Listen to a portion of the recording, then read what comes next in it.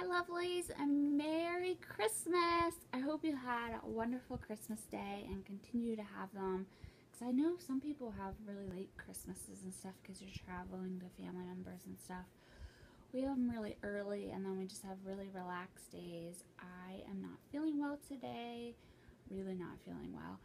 So, but I had a really nice Christmas and I felt fine for that and everything and then we big meal and it was really nice. But I wanted to do a Christmas haul for you guys show you guys what I got. Um, I'm actually gonna have to do two different ones because I want to do my Christmas haul and then my cousin sent me seven pounds of makeup. And, and when I say seven pounds of makeup I don't mean like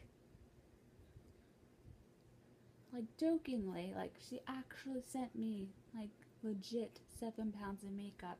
So I'll probably do that in a separate haul because it's all very exciting and fun and I want to go through each thing and show you guys.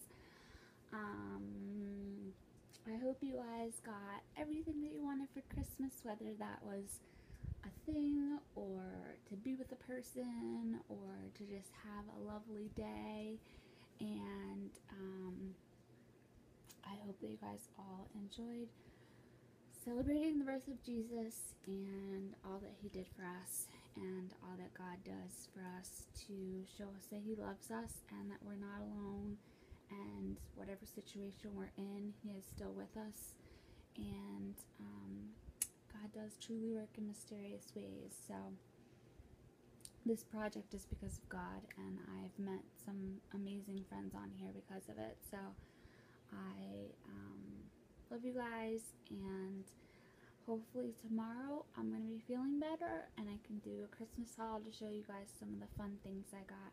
I didn't get any like extravagant present but I got lots of really fun little things and lots of things from my friends and it was just it's just really nice so Merry Christmas and I hope you're having a pain-free stress-free day of course on Christmas and eating lots of yummy food. I love you guys, and I will talk to you guys tomorrow. Bye!